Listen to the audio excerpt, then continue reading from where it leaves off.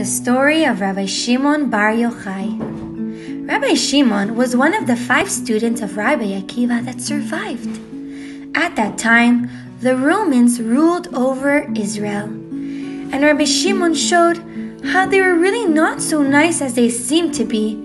And when the Romans heard how he felt about them, they wanted to capture him. He ran away quickly to a cave with his son Elazar where he spent 12 years hiding from the Romans. During those 12 years, he sat day and night studying Torah.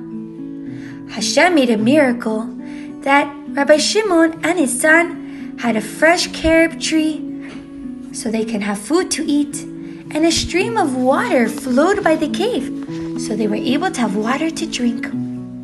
After 13 years, it was safe for Rabbi Shimon to come out, and Eliyahu Navi, an angel of Hashem, came to tell them, It's safe for you to come out.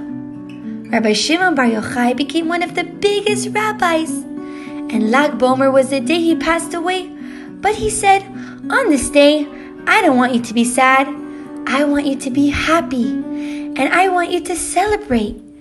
And on this day, we have a bonfire and we sing and dance and we spread the message of Torah and mitzvot and we share lots of love with all our friends.